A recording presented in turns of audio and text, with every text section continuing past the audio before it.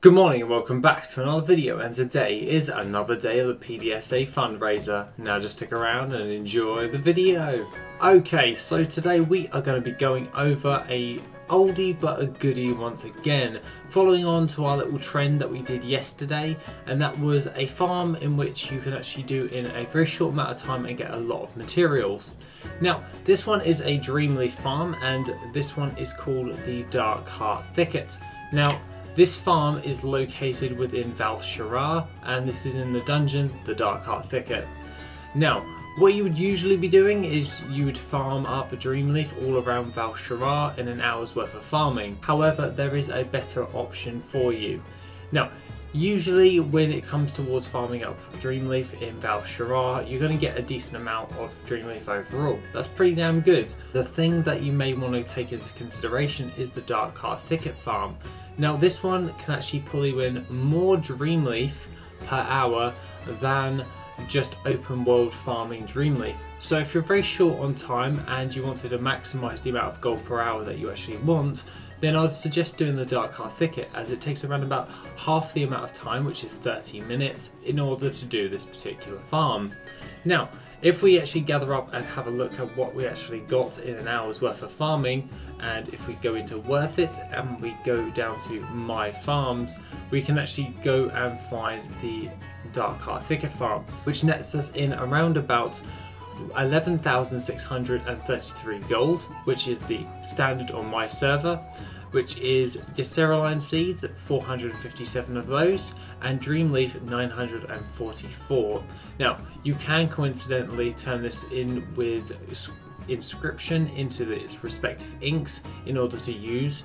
And quite frankly this is probably a very decent way in order to do that. If you are a scribe if you're very short on time and you would rather just farm up your own mats. As a lot of the high selling mats are from Legion so it just makes sense to actually utilize this farm. As it takes 30 minutes to do you get more Dreamleaf and Yseraline seeds per hour than you would open world farming and you could add that into your gold rotation.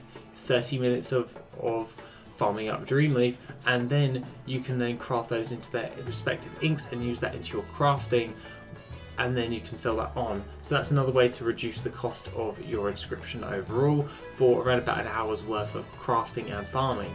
So overall, what do we actually get from this particular farm? Well, we actually got a hold of quite a decent amount of Dreamleaf, and we also got some BOE stuff. I left them out of this farm's evaluations because obviously they are heavily RNG based and we actually got a, a nice mail helm from this that is a epic and that's a BOE of course. And that the min buyout for it is around about 14,999 gold and it's at a sell rate of 0.02 so that's better than most transmog so I'm not going to lose sleep over that overall. And we actually got something that actually sells for quite well as well. That's 0.01 uh, 0.04 and that is the artifact relics. And this one's the shadow artifact relic which sells for a market value of around about 3000 gold or a region market value average of 1806 gold. This one is one of those ones that you're just like hmm will it actually sell that well? Well yeah kind of it depends on your actual particular server and how you think it's going to fare. Personally, for me, I reckon it's going to sell relatively well, so I'm going to actually try and sell that on. This goes with the helm, but the helm is self-explanatory, it just makes sense. So, if we adjust this to the DB so if we set, set this to the DB region market average across our region, so for pretty much all servers, we can have a look at what the Dark Heart Thicket farm will actually net you, and it's around about 17,401 gold per hour, which is the average across all regions. So that's pretty damn good. Obviously on my server, because it's a highly populated server, it's definitely going to be a lower value and overall for people it would be roughly around about 17,000 gold. That's pretty good for 30 minutes of farming. 17k's worth of materials in half an hour. So let's jump over and actually do this particular farm. So what you're going to want to do is jump on a druid or any herbalism class. I prefer a druid as they can get through this dungeon relatively easily without that much of a fuss. Now these mobs do aggro so just be aware of that. Uh, but I've got Shadow Meld to actually get away from them all and all that stuff. So obviously I've just tagged one right now, and they're, uh, yeah, I've aggroed one, and they're going to be chasing me for a little bit, but I will Shadow Meld in a minute and just get around that. Typically, I will be able to just get out of combat, and you can always kill these guys for additional loot, such as like Legion Transmog as well, if you're into that type of thing. But overall, it doesn't really affect me all that much. So now Shadow Meld is on, and I'm out of combat, and we're just going to wait for this boss because the part that we want to get to is the part over here with all of these Vile Thorn blossoms and what we're going to want to do is just grab their aggro in the grand scheme of things. So we're just going to grab their aggro right now and we're going to start our farm. So this is what we're actually going to be doing. We're actually going to grab all of these mobs up and quite frankly I found this to be a very reliable way in order to make some gold. So if you are at a loose end and you've got 30 minutes spare or you don't have that much time to actually farm up something and you want to actually get in a decent farm. Now the Dreamleaf farm works really well for a lot of reasons and that is because it's just so easy in order to do and quite frankly I find this to be just an easy farm just to actually get a decent amount of gold overall and all that stuff. Now, since the Shadowlands release, these mobs have gotten harder to kill, but there's not a problem once we actually start getting ourselves a bit more geared up. I do intend on doing that in the near future because I would like to cover some other farms, such as like Legion raids and all that stuff. I want to see how they fare in the grand scheme of things, but what we're coming for is definitely these vials. So we're going to loot up all of our stuff, and now we see all of these vials. Now, with this, they are tending to be needed to be gathered. Now, with the the Dark Moon Firewater Potion, it's nearly instantaneous. And I, I was very shocked when I saw this. There's like a little weird thing that's actually going about here. So when you have the Dark Moon Firewater actually on, and unfortunately I don't actually have one on me right at this second in time, you can actually pretty much press it and it will do it even faster than it usually would. The Dark Moon Firewater will obviously increase your gathering rate, but overall it's quite weird because I found because I found that when I was doing this, it was literally instant. So it was an instant gathering. So it's it's changed a little bit ever since ever since SL's release. So it's just something to keep in mind. When you've got the Dark Moon Firewater potion on, it will be like pretty much an instant gather. And I haven't tested this with other old world stuff, but in this dungeon specifically, when I've got the Dark Moon Firewater on, I literally click and I loot. As I would like just looting any random mob in the game, it's literally like that but with herbalism. So Dark Moon Firewater is definitely a necessity when you're actually doing this particular type of farm. So overall we gathered up a decent amount of gold's worth of Dreamleaf.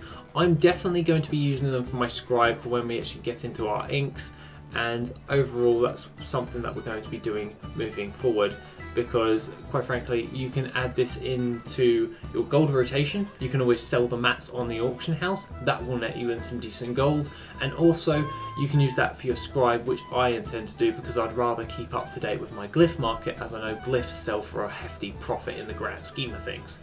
So that being said I would actually suggest that you guys jump in on this because it's a very strong gold per hour across the region across the region it's roughly around 17,000 gold for 30 minutes worth of work.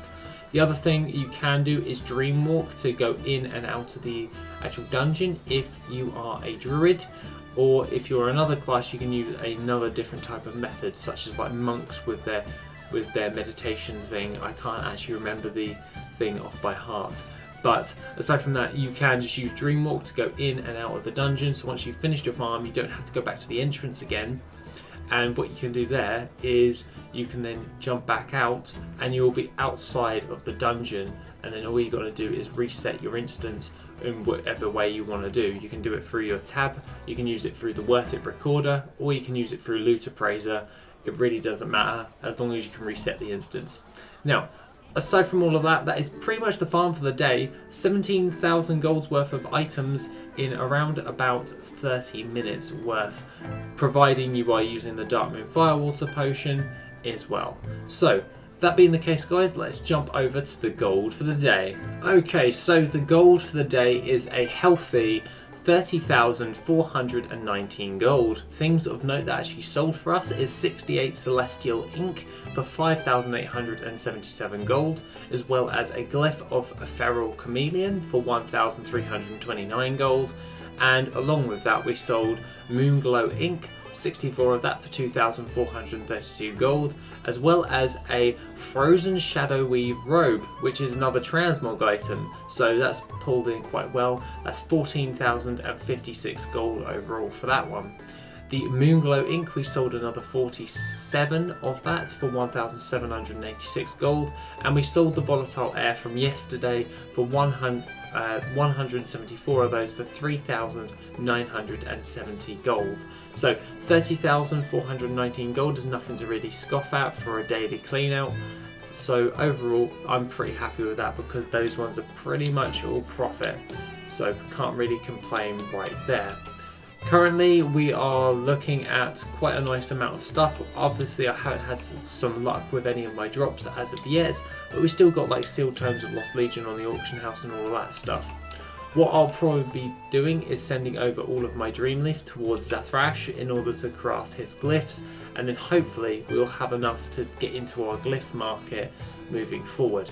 The other stuff will be added into our TSM, and obviously, look at the drop. I know but unfortunately we but actually we're pulling in a profit so I'm, I'm still pretty happy with that right there. So we'll go into our groups right now and we will jump into a load of our different types of stuff. So we'll go over to junk and we'll just add those into the junk pile because they're just junk items that I don't really care for that much. If they sell they sell. If they don't they don't it's one of those things so what we'll do now is we'll just go in and scan all of this stuff, scan it in, and then we can look at our auction house, which is around about 73 items. Um, unfortunately, I don't have that many items, but it's 1,345,000 gold's worth of items on the auction house. And obviously, we did spend a load of gold on a future project, but we'll have to wait and see with that one because we are trying to buy out a load of the materials that we need for our stuff as well as trying to maintain that price so I'm not overspending for all of this stuff because it's really pricey. Other than that guys, that is pretty much everything for today. If you wish to donate towards the PDSA fundraiser, we are doing really well at this moment in time.